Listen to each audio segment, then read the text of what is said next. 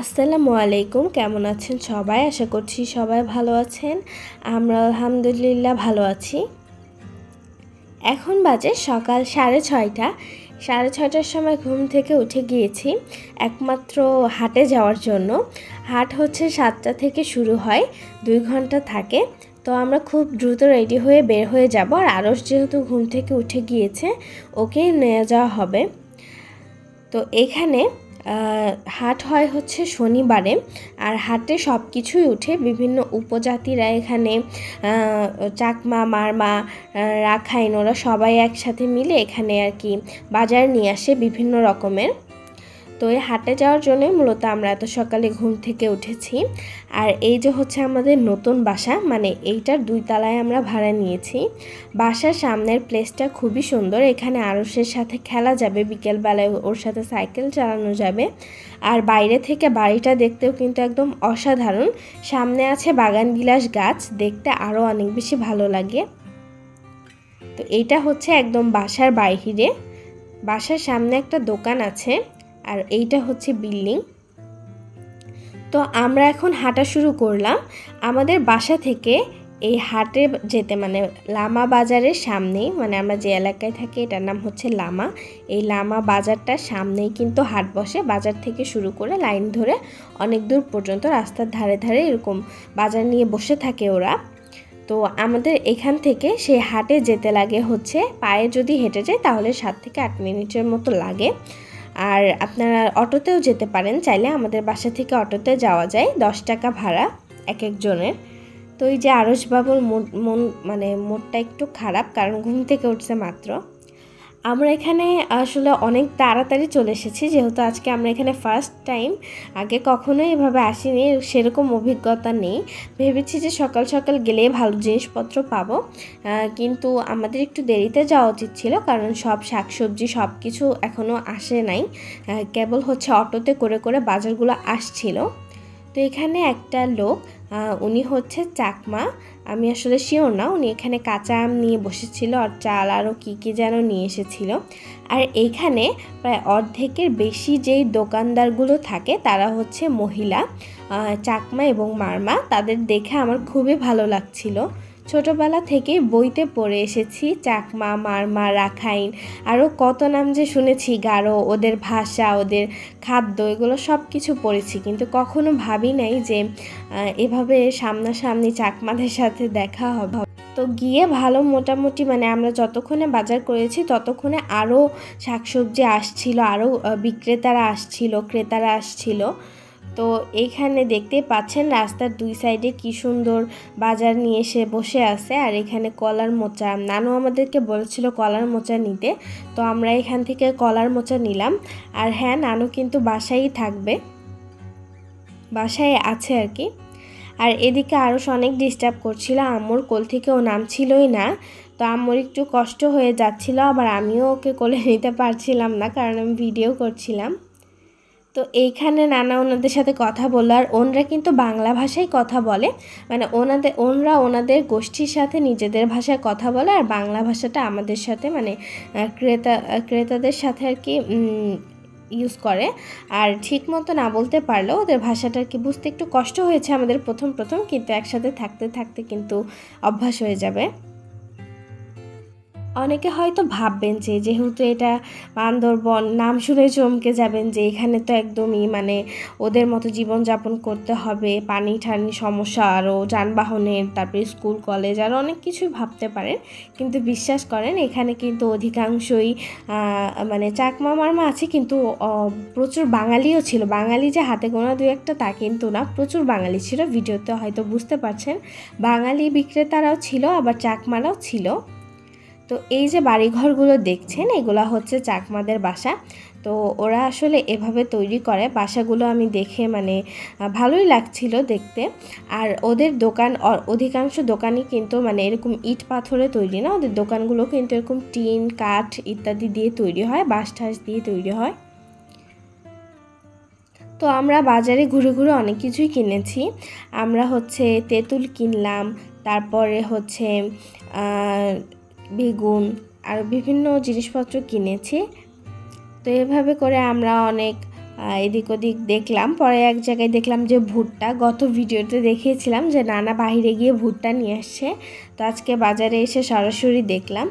আর এই চাকমারা, মারমারা কিন্তু প্রচুর পরিমাণে ভুট্টা খায়। ওদের ভুট্টা খুবই পছন্দ, আমি শুনেছি। আর এই জায়গা সম্পর্কে বলি, এই জায়গাটা কিন্তু একদম শহর অঞ্চলের মতোই। আমাদের বাসা থেকে বাজারে আসতে বেশি দূর মানে বেশি টাইম লাগে না। আবার বাসার পাশেই কিন্তু থানা, আর থানাটাও খুব সুন্দর। একদিন আপনাদেরকে ভিডিও করে দেখাবো। তার সামনেই কিন্তু স্কুল আছে। আবার মানে হসপিটালও কিন্তু আছে। মানে কোনো কিছুরই কমতি নাই।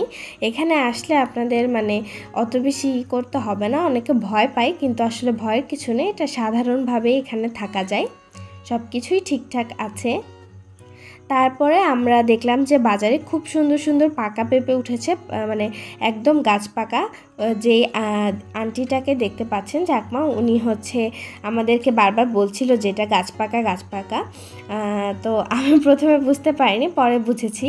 আর ওনাদের ব্যবহার অনেক সুন্দর মানে এত সুন্দর ব্যবহার খুব সুন্দর করে কিন্তু ওনারা আমাদের সাথে কথা বলেছে মানে কোনো কিছু যদি বুঝতে না পেরেছি, সুন্দরভাবে বুঝিয়ে বলেছে। তো উনি এভাবে দাঁড়িপাল্লাই করে মেপে দিচ্ছিল। আর এখানকার বাজারের যে চাকমাদের দেখতে পাচ্ছেন বাঙালিরা না যেই মানে অন্য নৃগোষ্ঠীর যেই বিক্রেতাদের দেখতে পাচ্ছেন, তারা কিন্তু একদমে জিনিসপত্র বিক্রয় করে। আমি আম্মুর কাছ থেকে শুনেছি মানে এদের ইয়াটা কি তারা যেই দামে কিনে নিয়ে আসে, তাদের লাভ অনুযায়ী সেটাকে ডেডিকেট করে বিক্রি করে। এখানে তারা বেশিও লাভ করে না, আবার আমাদেরকেও ঠকায় না। তারা কখনোই দামাদামি করে না। এই জিনিসটাও ভালো। তো আমরা পেঁপে কেনার পরে লেবু কিনলাম। আমরা মাত্র দুইটা লেবু নিয়েছি, এক একটা লেবু দশ টাকা পিস ছিল। তো বাজারগুলোতে শুধু মানে একটাই প্রবলেম একটু দাম বেশি। আমাদের এমনি অন্যান্য জেলায় যেমন ফরিদপুরে একটু দাম কম ছিল শাকসবজি, কিন্তু এখানে দামটা একটু বেশি। তো গাড়িতে গাড়িতে করে এখনও বিক্রেতারা শাকসবজি সব কিছু নিয়ে আসছে বিক্রি করার জন্য। অবশেষে নানা আমাদেরকে বলল যে, তোমরা তাহলে থাকো আমরা মানে আমাদেরকে বলল, আমাকে আর আম্মুকে যে আমাদের বাসে চলে যেতে বলছে, আর নানা হচ্ছে এখানে আরও কিছুক্ষণ থেকে মোরগ নিয়ে আসবে বাজার থেকে। তো এখানে আমি আমরা সবাই মিলে আরেক জায়গা থেকে বেগুন কিনলাম, তারপরে হচ্ছে কুমড়া কিনলাম। এক একটা কুমড়া কিন্তু তিরিশ টাকা করে এক জায়গায় দেখেছি আর এক জায়গায় হচ্ছে দশ টাকা, যেটাই নেবে সেটাই দশ টাকা। আমার কাছে সব মিলিয়ে বাজার আর এই এলাকা সব কিছু খুবই ভালো লেগেছে। কারণ এখানে কোনো কিছুর কমতি নেই, সবার ব্যবহারও সুন্দর সব কিছুই ঠিকঠাক, একদম পারফেক্ট বাড়িঘরগুলো দেখতে খুবই সুন্দর লাগছে আমার কাছে। এমন বাড়ি মানে আমি বইতে পড়েছিলাম যে চাকমাদের মাচাং থাকে মানে মাচার উপরে কীভাবে যেন মানে মাচার উপরে আর কি বাড়ি করে কীভাবে যেন, সেগুলো অনেক দেখার ইচ্ছা ছিল, আবার ওদের জীবনযাপন সম্পর্কে জানার ইচ্ছা ছিল, সেটা আজকে জানলাম। যেহেতু চাকমাদের চাকমারা বা মারমারা হয়তো মানে জানি না আমি ঠিক বাট ওদের অধিকাংশ কিন্তু মাতৃতান্ত্রিক। এই কারণে ওরা হচ্ছে বাজার ঠাজারের জন্য বিক্রেতা হয় আর কি, মহিলারাই বেশিরভাগ। তো আমরা অবশেষে বীজ টাইপের একটা জিনিস নিলাম। আমি আসলে এটার নাম ভুলে গেছি। এটা হচ্ছে চিংড়ি মাছ দিয়ে রান্না করে খেতে হয়। সিমের বিচির মতোই রান্না করে খেতে হয়। তো এটা আমরা নিলাম এই আন্টির কাছ থেকে।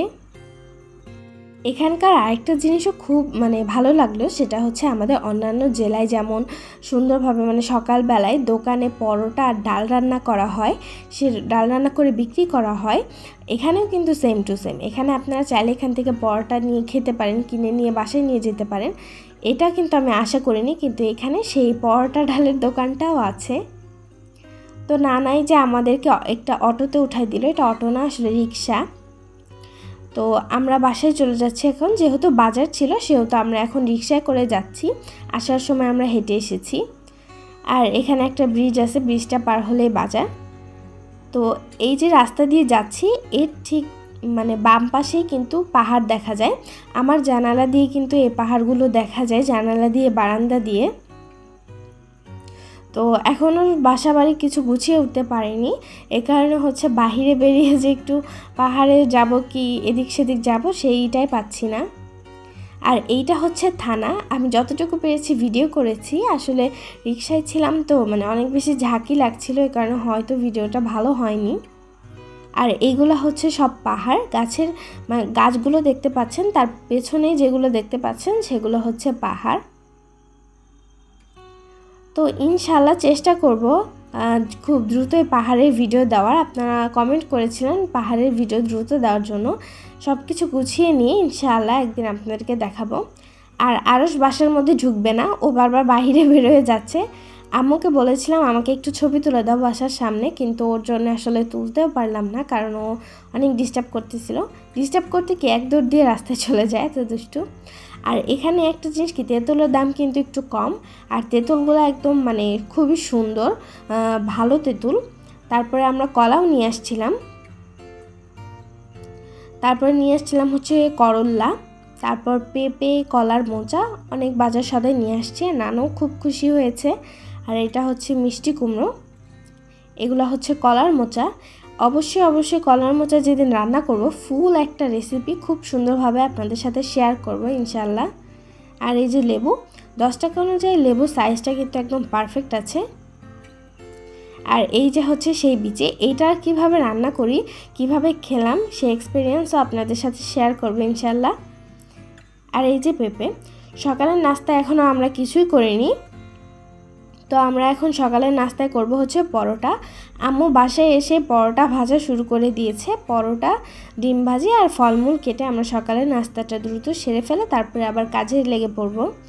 তো পেঁপের কালারটা কিন্তু কত সুন্দর মানে বাহির থেকেই দেখে বোঝা যাচ্ছিল যে পেঁপেটা খুবই মিষ্টি হবে এবং খেতেও মজা হবে আর কালারটাও খুব সুন্দর হবে। তো আমাদের খাওয়া দাওয়া শেষ। এখন আমি টেবিলটা সুন্দর মতো ক্লিন করে ফেলব। তারপর আদার্স যে কাজগুলো আছে ওগুলো করব। এরপর আমি আরুষকে এর মধ্যে একটা পরোটা আর ডিম খাইয়ে দিয়েছি। ওর খাওয়া দাওয়ার আর চিন্তা নেই। নানা বাজারে গিয়েছিল। আমাদের সবার জন্য মাছ নিয়ে এসেছে। পাঙ্গাস মাছ, সরপটি মাছ, তেলাপিয়া মাছ। তো আজকের ভিডিওটি আমি এই পর্যন্তই রাখছি। একটা র্যান্ডম ব্লগ শেয়ার করলাম আপনাদের সাথে। ভিডিওটি ভালো লাগলে লাইক কমেন্ট শেয়ার এবং সাবস্ক্রাইব করতে ভুলবেন না। আর অবশ্যই কমেন্টে জানাবেন কেমন লাগল। আসসালামু আলাইকুম। আল্লাহ হাফেজ।